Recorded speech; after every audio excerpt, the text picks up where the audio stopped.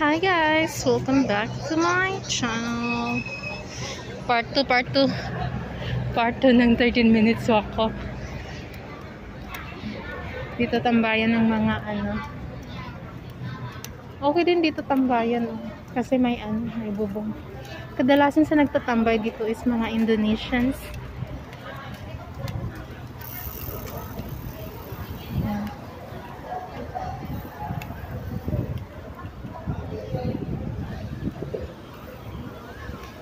Part 2 ng aking 30 minutes walk. Galing ako dun sa kabilang bridge. Tapos patawid na dito sa isa pang bridge. Wala pang 30 minutes pala matawid ko na to.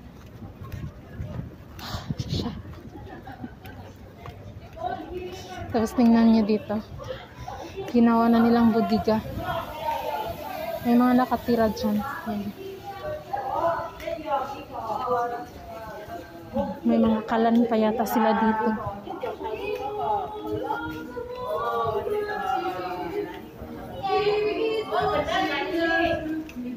Mga Indonesian din kadalasan siya.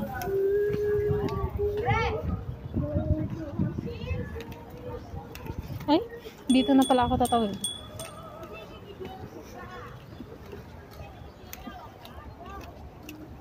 Mga ba, ba, ba.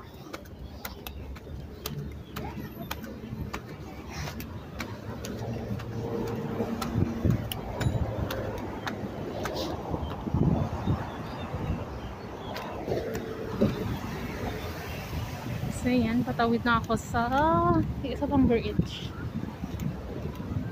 Tapos may isa pa dun. Ay, dalawa pa pala nandun. Dalawang bridge. Doon ako galing oh, sa bridge na yun.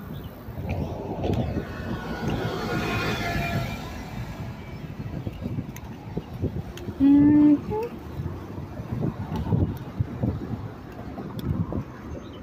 Babalik pa ba ako or didiretso na lang? Didiretso na lang siguro.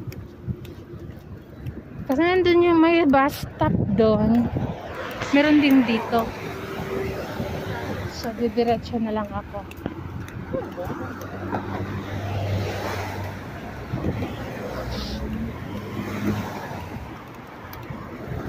Sana pala dumiretso na lang din ako doon. Kasi nandun yung isang bus stop.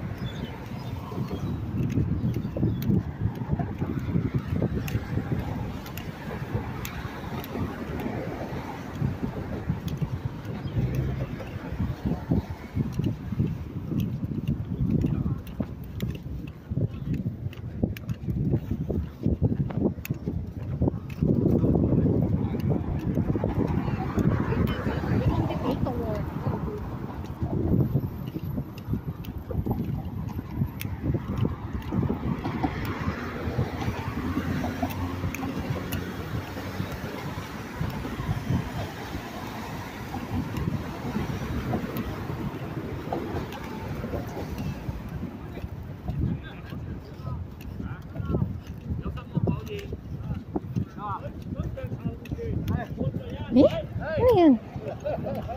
Oh. May tao dun. Yan.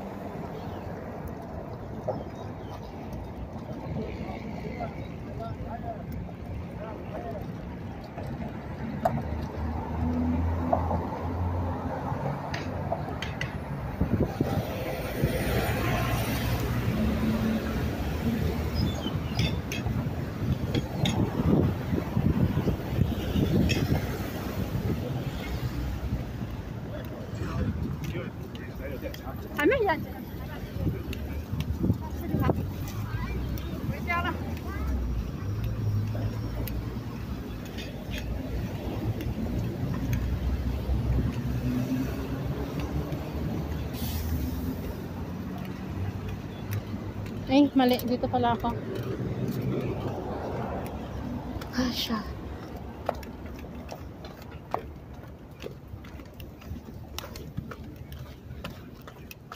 Shingman River.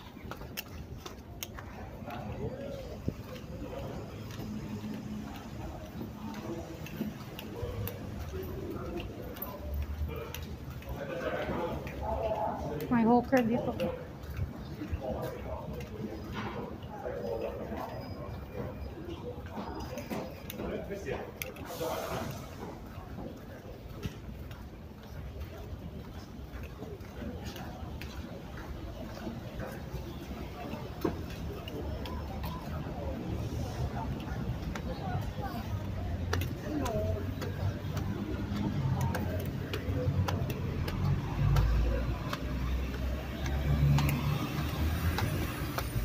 Nagpapawis na yung kilikili ko.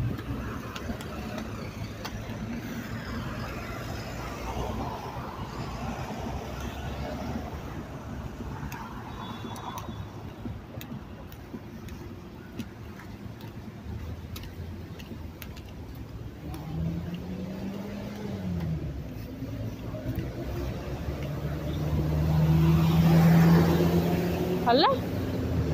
Mas malayo yata yung ano. Andyan yung bus! Yung dapat yung sasakyan ko. Mas malayo yata dito yung ano. Mas malayo yung bus stop. Kaysa sa bumalik ako dun. Okay lang. Matapos ang 30 minutes walk ko.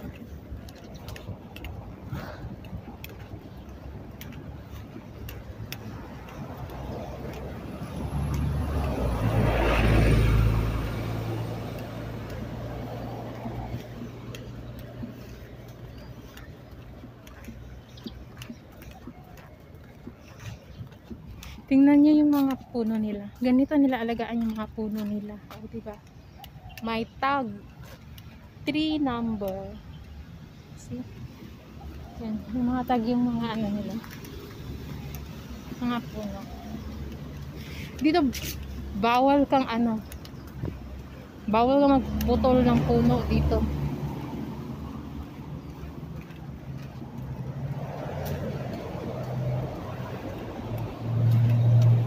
Tsaka bago ka makapag ano, bago ka makapag-expand.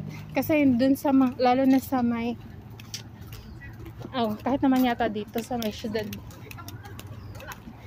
ano, uh, bago ka makapagpatayo ng building ng ganyan, oh. no? E lote pa yan oh, ng mga kahoy-kahoy. Sandamakmak pa na trials yung ano, Susuungin mo bago yan ma-approve. Kahit gaano ka pa kayaman, kung hindi yan i-approve ng ano, ng government, hindi ka makapag-expand. Dati nga doon sa ano, doon sa Saikong, ano, as in talaga pinagtanim sila ng, yung bundok, ay naggumawa sila ng ano, gumawa sila ng mga bahay. Tapos, edi may naaano, may kailangan nilang mag puputol ng kahoy, ganyan, ganyan. Tapos may naiwan kasi doon na slope. Pinataniman nila, pinataniman ng ano, ng grass. Tapos, kung hindi mabuhay yung grass na yon hindi sila makapagpatayo ng bahay. yon Yung ginawa ng may-ari. Doon kasi nakatira yung, ano, malapit yun sa bahay na, ay, sa boarding house ng auntie ko. Ginawa ng may-ari, pinapalagaan nila yung grass doon sa tita ko. Yung tita ko nagdidilig araw-araw doon sa grass para mabuhay. Ganun. Nandiyan na yung isang bridge, oh.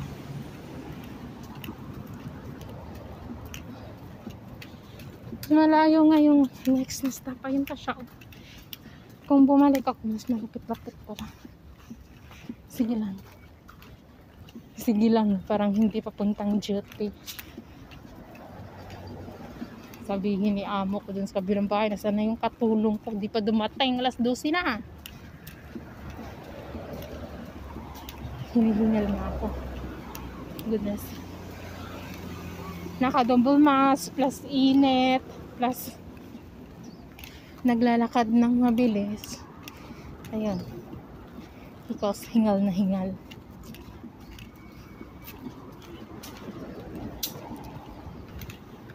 Oh, may grenade yan. Ang puno na yan.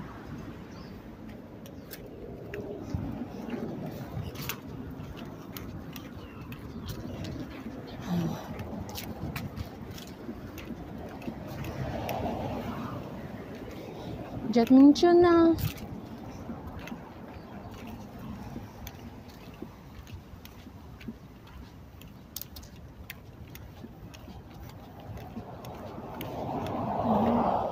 Matatanda dito, paumpo-upo lang dyan. Ayan.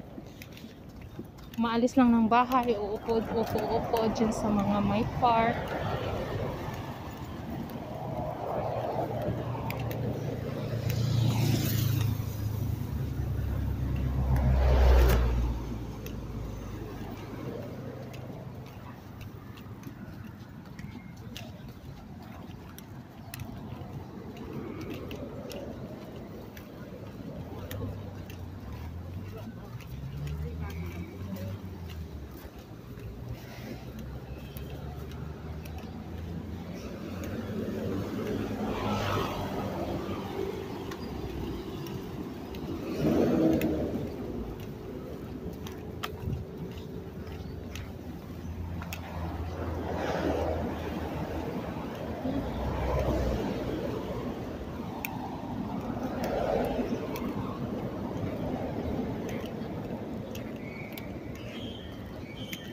Railway station na dyan. Yung MTR. Ay, ano ba pala yan? Chikong.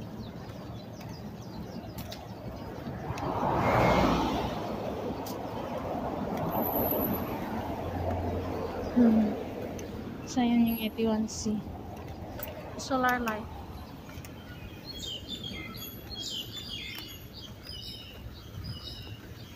Seventeen minutes pa yung aantayin ko. O. Ay, 12 pala. Yan. Ah, nakarating din. Ah.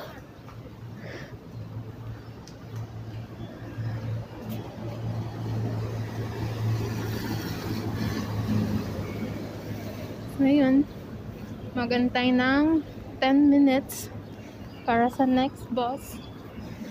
Maok makapag-upo nga muna. Ah, hinihingal ako dun.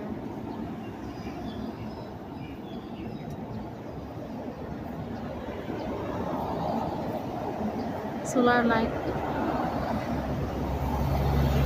Ang galing, ba? Tapos may mga ano, may mga bus dito din na solar yung nag ano, nag-ooperate. Yung ganun. Nakikita mo yung mga sonal, sonal solar panel sa sa roof ng bus.